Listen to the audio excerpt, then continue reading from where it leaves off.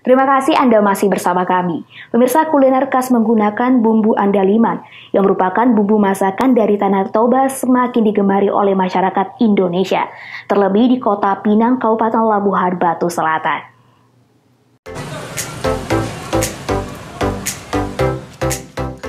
Bumbu andaliman kecil dan mirip dengan merica, memiliki aroma jeruk yang lembut tapi menggigit sehingga menimbulkan sensasi keluh atau mati rasa di lidah meskipun tidak sepedas cabai atau lada.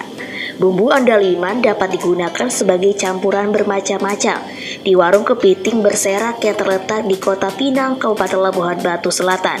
Bumbu andaliman digunakan sebagai campuran makanan seafood kepiting berserak, belut andaliman, dan udang kala andaliman. Tiga jenis makanan ini menjadi primadona di warung tersebut. Campuran bumbu andaliman menjadi andalan yang sangat diminati pengunjung. Kuliner kepiting berserak yang biasanya menggunakan campuran saus padang, tetapi di warung ini kepiting berserak menggunakan bumbu andaliman.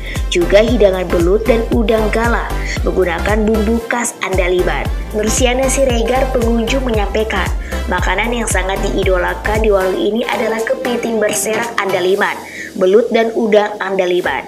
Setiap ke kota Pidang wajib singgah ke warung ini. Bukan saja rasanya yang mantap tetapi harganya juga terjangkau. Menu yang sering dipesan di sini apa aja, Kak? Ini apa kepiting berserak, yang paling ini ini. Apa tadi namanya? Belut andaliman. Kalau rasanya gimana menurut kakak? Nyos, mantap. Kalau harganya? Harganya pun terjangkau daripada yang lain. Uh, Andaliman ini hanya di sini aja? Kemudian apa enggak? Di Kota Pinang. Di Kota Pinang ya cuma di sini. Uh, kita dari mana kak? Ngapayung. Oh ya.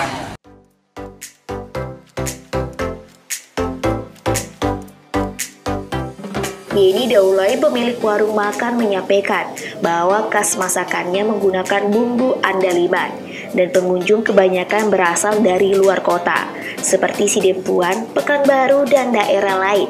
Pihaknya pun menggunakan sosial media untuk mempromosikan warung tersebut.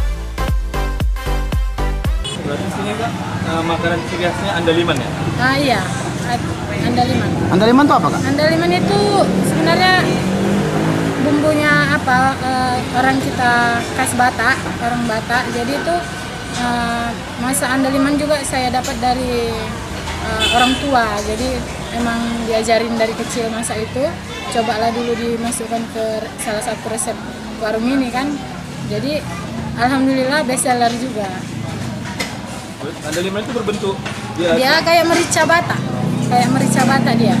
Jadi wanginya pun khas. Wanginya khas andaliman itu. Kalau di Sumatera ini udah rata-rata udah tahu lah. Ucok Sitorus melaporkan dari Labuhan Batu Selatan untuk Evaria TV.